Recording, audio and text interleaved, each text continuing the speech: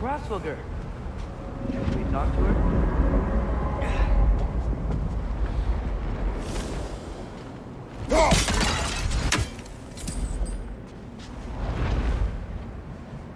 Hraesvelgr! Garmulesa Gerku!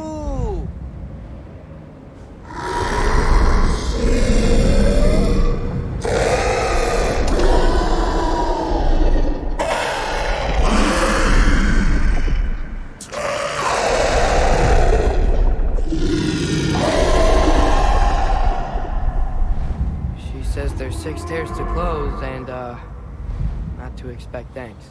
They shouldn't have been open in the first place. She is not wrong.